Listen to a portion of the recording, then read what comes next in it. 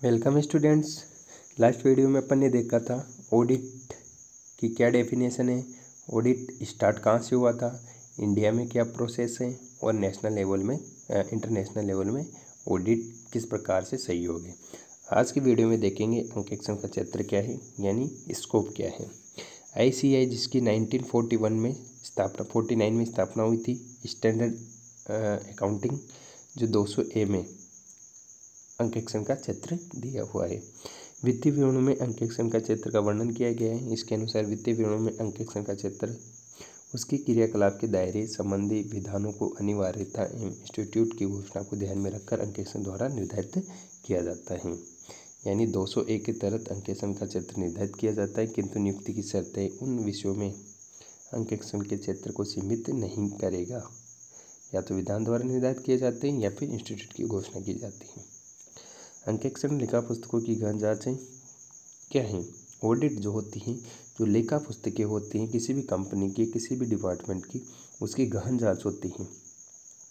अतः अंकेक्षण इस प्रकार से किया जाना चाहिए कि अंकेक्षक की दृष्टि वित्तीय विवरणों के लिए महत्वपूर्ण सभी फलों पर फलों का ध्यान रखें। इसके लिए अंकेक्षण को अपने कोई विचार निर्धारित करने से पहले निर्णय लेना चाहिए कि संबंध, सूचना, वैधानिक मान्यता मर्यादाओं के बाद भी जहाँ पर लागू हो, वित्तीय विवरणों में भली भांति प्रकट की गई हैं। इस संबंध में लंदन एंड जर्नल बैंक के मामले में कहा है कि पुस्तकों में अंकीय शुद्धता का सत्यापन कर देने मात्र से अंकेक्षण का कर्तव्य पूर्ण नहीं हो जाता, वर्ण उसे यथोचित सावधानी के साथ देखना चाहिए कि वो प्रमाणित करता है और वो भी सही तो जो कुछ पॉइंट्स दे रखे हैं, कार्य क्षेत्र तो क्या है, लेखांकन एवं आंतरिक नियंत्रण प्रणाली। इसकी जाँच ये जानने के लिए है कि क्या ये संस्था के लिए उपयुक्त है। सभी लेन देनों की विधिवत अभिलेख करने में सहायता मिलती है। इससे पहले ऐसे कई परीक्षण पूछताछ की जाए, जो ये जानने के लिए अपेक्षित हों कि क्या वास्तव में प्रणाली कार्यान्वयन है। कदम ऐसी राय से स्थापित करने के लिए आवश्यक है जो खातों के अंतिम विवरणों को तैयार करने के लिए आधारों में अभिलेखों पर विश्वास कर सके। तंत्र एवं विधियाँ, ये पर्याप्त एवं व्यापक हैं या नहीं? जानने के लिए उसकी समीक्षा करना और उनकी कमजोरियों अपर्याप्तता को ढूंढना, उसकी वजह से कपट अशुद्धियों को अनजाने में चल, अनजाने में चलती जा रही हो। यानी जो क्षेत्र होता है, आपकी गलतियों वगैरह का पता पहले से अपन को चल जाता है। अंक शुद्धता का पता चल जाता है। लेखा पुस्तकों की जाँच हो जाती है। जब ऑडिट करते हैं तो प्रमाणक जो वाउचर होते हैं, उनको चेक करते हैं। वाउचरों में बीजक हो गया, प्रपत्र हो गए, अन्य पुस्तकें होंगी, उनकी सहायता से अपन ये ऑडिट का कार्य करते हैं। तुलना पत्र चिटाई जिसको अपन बैलेंस शीट होती है। बैलेंस शीट में क्या होता है? असेट्स होती है और लाइबिलिटी होती है, उनकी जाँच की जाती है। परिष्टियों की जाँच परिष्टियों की मतलब साइक बही या जर्नल एंट्री होती है ना जर्नल बही में उसकी जाँच भी की जाती है। पूंजीगत भाग। यानी कैपिटल और रेवेन्यू की जाँच भी अपन की जाती है, जो कि रिसिप्ट एंड पेमेंट जो लेके रखे जाते हैं, उसकी जाँच भी अपन करते हैं। अन्य लेखों से तुलना, जब अपन जाँच करेंगे तो अन्य लेखों, यानी बैलेंस शीट और पेंडल समेत अन्य लेखों से तुलना करके ये पता लगाया जा सकता है कि अंतिम खातों में कहाँ मिस्टेक हैं और उनको सुधारा जा सकते हैं। परिणामों की जाँच लाभ खाते द्वारा प्रदर्शित परिणामों की जाँच करना ताकि ये देखा जा सके कि परिणाम सत्य हैं और उचित हैं। वैधानिक आवश्यकताओं की पूर्ति। यदि किसी विधान के अंतर्गत समामेलित संस्था का अंकेक्षण किया जा रहा है तो सूचित करना चाहिए कि वैधानिक आवश्यकता पूरी कर ली है। यानी कि नॉर्मल ऑडिट हो तो कोई दिक्कत नहीं, लेकिन अगर वैधानिक हो, यानी विधान के अनुसार वैधानिक ऑडिट होती हैं, जो आपको करवाना अनिवार्य होती हैं, जो कि गवर्नमेंट सेंट्रल गवर्नमेंट करवाती हैं। तो इसके लिए पूरी सुविधा कर ली है। बा, बात करेंगे उद्देश्य ऑडिट के क्या ऑब्जेक्ट्स हैं? अंकेक्षण का उद्देश्य ये पता लगाना है कि अंतिम खाते सही नियमानुसार बनाए गए हैं अथवा नहीं। यानी जो मेन ऑब्जेक्टिव हैं वो उनको जिस संस्था की ऑडिट की जाती उस संस्था के अंतिम खाते सही हैं और नियमानुसार बनाए गए। ये मेन उद्देश्य होता है। व्यवसाय अंकेक्षण का उद्देश्य संस्था लाभ हानि सही बताता है अथवा नहीं। मानक लेखांकन ऐसे, यानी स्टैंडर्ड अकाउंटिंग 200 और ऐसे 240 के अनुसार क्या है?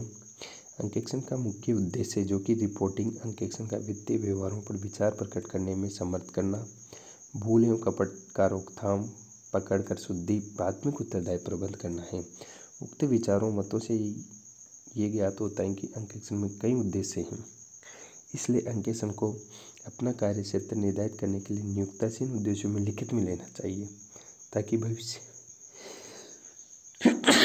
सॉरी भविष्य में उसके दायित्व संबंधी कोई विवाद उत्पन्न न हो। F L versus Anand नेक्स्टारन and company, Leech and Stocks मुकदमे हुआ था। तो इन समस्त तथ्यों को ध्यान में रखते हुए जो ऑडिट के जो ऑब्जेक्ट हैं, उनको दो भागों में बांट। वैसे तो ऑडिट के बहुत सारे ऑब्जेक्ट बताए इसमें, देखो पकड़ कर शुद्धि प्राप्ति करना। लेकिन जो मेन उद्देश्य इन, इनमें कोई केस हुआ था तो उसमें तो एक फिक्स ऑब्जेक्ट उद्देश्य फाइनल कर दिए, जो दो थे मुख्य उद्देश्य और सहायक उद्देश्य। यानी मोने मो मेन ऑब्जेक्ट अब सब्सिडरी ऑब्जेक्ट तो सबसे पहले बात करेंगे अपन सहायक उद्देश्य। Second point. अशुद्धियों मुख्य उद्देश्य निम्न प्रकार है। अशुद्धियों का पता लगाना। सहायक उद्देश्य, मुख्य उद्देश्य आगे देखेंगे। सहायक उद्योग में फ़र्स्ट अशुद्धियों का पता लगाना। लिखा पुस्तक में कई प्रकार की अशुद्धियाँ होती हैं, जैसे सैद्धांतिक भूल की अशुद्धि टेक्निकल अशुद्धि सत्यपूर्वक अशुद्धि, दोहराव के हिसाब से संबंधित अशुद्धि। मुख्य उद्देश्य। मुख्य उद्देश्य में फ़र्स्ट है अंतिम खातों की सत्यता, अंतिम खातों की सत्यता, शुद्धता की जाँच करना। यानी जो मेन उद्देश्य हैं, वो तो क्या है? अंतिम खातों की शुद्धता की जाँच करना, सत्यता की जाँच करना। जबकि सहायक उद्देश्य है, उसमें यहाँ से अपन स्टार्ट करते हैं। तो अंकेशन का महत्वपूर्ण उद्देश्य ये है कि लेखों और संबंधित ब्यौरों और प्रपत्रों की इस प्रकार जाँच की जाती है, जिसके परिणाम स्वरूप अंकेक्षण ये रिपोर्ट दे सके कि लाभानी खाता सही है। पेंडल अकाउंट सही है बैलेंस शीट सही है, आर्थिक स्थिति का संतोषप्रद विश्वसनीय विवरण है। यानी अपन बोले तो जो ऑडिट का काम है पेंडल ट्रेनिंग बैलेंस शीट कंप्लीट है, सही बनाए गए हैं कोई दिक्कत नहीं। ये होती है मुख्य उद्देश्य। स्पाइसर स्पाइसर एम्पेक्लर ने कहा है कि अशुद्धियों और धोखाधड़ी का पता लगाना ही मात्र अंकेक्षण का उद्देश्य नहीं है, बल्कि अंकेक्षण का उद्देश्य वार्षिक विवरणों को विश्वसनीयता की मात्रा का निर्धारित करना भी। ये तो हो गया आपका मेन उद्देश्य। अब आता है सहायक उद्देश्य। सहायक उद्देश्य में अपन ने स्पष्ट देख लिया था अशुद्धियों का पता लगाना। तो अशुद्धियों का पता लगाना होता है। सेकंड है आपका कपट एवं गबन का पता लगाना। जिस प्रकार लेखा पुस्तकों में अशुद्धियों के अनेक प्रकार के होते हैं, उसी प्रकार कपट एवं गबन का भी अनेक प्रकार से किया जाता है कि जैसे रोकड़ का गमन हो गया, माल का हो गया, संपत्तियों का, सुविधा का हो गया, श्रम का हो गया हिसाब का हो गया। अब बात करें, रोकड़ का गमन अगर आपने केस चुरा ली तो रोकड़ का गमन हो गए, संपत्तियाँ। जैसे आपकी कंपनी की संपत्ति है और आप काम ले रहे हो तो वो भी एक तरह से संपत्ति का गमन हो गया, सुविधा का गमन आपने सर्वेंट हैं, आप मैनेजर हो कंपनी में, लेकिन आप घर का काम करवा रहे हो तो हो गया आपका सुविधा का गमन श्रम का गमन ऐसे मजदूरी कर रहे हो, हिसाब कर रहे हो, आप कर्मचारियों को दे रहे हो। तेईस दिन का पेमेंट बना, आपने अट्ठाईस दिन का पेमेंट कर दिया तो जो दिन का पेमेंट है, अगर उसको आप बीच में गायब कर रहे हो तो वो हिसाब का गबन हो गया। तो ये काम भी क्या है, इसका जो ऑडिट का उद्देश्य होता है इनको भी पता लगाना होता है। कपट अशुद्धियों को रोकना होता है। अंकेक्षण का उद्देश्य कपटों अशुद्धियों को ढूंढ निकालना और उन्हें रोकने का प्रयास भी करना होता है। हालाँकि अंकेक्षण से प्रत्येक रूप से तो रोकी नहीं जा सकती, लेकिन लेकिन ये कम अवश्य किया जा सकता है। भारतीय कंपनी अधिनियम 2013 में स्पष्ट लिखा है कि किसी भी अंकेक्षक से ऐसी आशा नहीं की जा सकती कि सभी कपटों, गड़बड़ियों अशुद्धियों, गबन, अनियमितताएँ प्रकाश में आ गई हैं तो उन्हें खोजे और रंग के अनु प्रासंगिक हो। कितना, किंतु इतना अवश्य है कि यदि कपट को बढ़ावा देने वाली परिस्थितियाँ अंकेशन के सामने आती हैं तो उपयुक्त सुझाव दे सकता है, किंतु बाध्य नहीं कर सकता है। अंकेक्षण अशुद्धियों कपट को कम कर सकता है और संस्थाई कर्मचारी सावधानी कार्य करने के लिए जानकारी दे सकता है। यानी कि उसका उद्देश्य अशुद्धियों कपटों को रोकना होता है, लेकिन साफ़ साफ़ तेरह में कहा गया है कि वो ज़रूरी नहीं कि सभी अशुद्धियों को और गबन को पकड़ लें। उसकी तैतीसी ज़िम्मेदारी है कि परिस्थितियाँ सामने रख दे, कम कर सकता है और उनको सावधानी से कार्य करने की चेतावनी कर्मचारियों को दे दे। प्रबंधक को परामर्श देना, यानी कि ऑडिट का अंकेक्षण जो होता है ऑडिटर इसको सीए करता है तो इतना है कि वो प्रबंधक जो मैनेजर होते हैं कंपनी और डिपार्टमेंटों को उनके एक परामर्श एडवाइस भी दे सकते हैं। यानी स्मरणीय परामर्श देना अंकेक्षण करना तो वैधानिक कर्तव्य है और नई आंतरिक मामलों में अंकेक्षण की सलाह के लिए प्रबंध मान्य है। लेकिन हाँ लेखांकन संबंधी प्रबंधकों को मान लेना चाहिए। इसलिए का एक उद्देश्य है कि हिसाब किताब की जाँच के समय संस्था कमज़ोरी की जानकारी तो परामर्श दे। यानी आपने किसी केस बुक को चेक किया। उसमें मैनेजर या केसर हर बार आप कुछ मिस्टेक कर रहे हैं, यानी भूल के कारण कर रहे हैं तो सीए उसको चाहे तो उसको सलाह दे सकता है कि ये मिस्टेक इस प्रकार से सोल्व होगी तो उसी प्रकार से काम करें। कर्मचारी पर नैतिक प्रभाव। अंकित अपनी जाँच प्रक्रिया में कर्मचारियों की जाँच का भय जागृत करता है, ताकि शुद्धियों कपटों की संभावना कम हो जाए, कर्मचारियों की सद्यता की भावना जागृत हो जाए और कर्मचारियों की नैतिकता में वृद्धि हो। परिणाम स्वरूप कंपनियों में, कर्मचारियों में समय और एवं ईमानदारी से कार्य करने की आदत पड़ जाए। यानी कि जो नैतिक प्रभाव, यानी उनको नॉर्मल रूप से समझाए, उनको ये बताएँ कि आपने ये गलती कर दी तो आप कंपनी में नुकसान हो जाएगा, आपकी नौकरी चली जाएगी, ऐसे नॉर्मल रूप से रहे तो जो काम करेंगे वो सही रहेंगे और जो फाइनल डिसीज़न आएगा वो अच्छा रहेगा।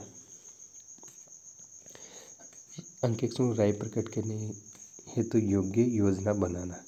अंकेक्षण अंतर्राष्ट्रीय अंकेक्षण एवं आश्वासन मानक मंडल ने अंकेक्षण के उद्देश्य पर प्रकाश डालते हुए कहा है कि वित्तीय विवरणों का उद्देश्य अंकेक्षण को इस पर योग्य बनाता है कि इनकी राय प्रकट कर सके।